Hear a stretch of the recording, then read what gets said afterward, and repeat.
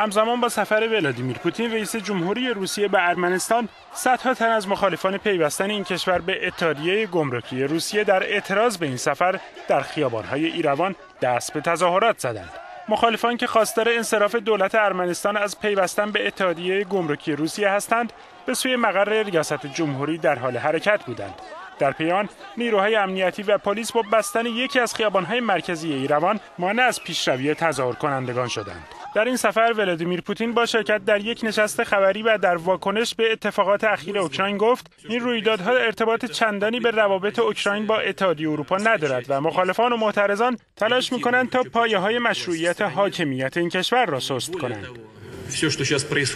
رئیس جمهوری روسیه افسود وقایع جاری اوکراین نه یک انقلاب بلکه اعتراضاتی به خوبی سازماندهی شده است که به نظرم نه برای امروز بلکه برای انتخابات ریاست جمهوری سال 2015 این کشور برنامه ریزی شده است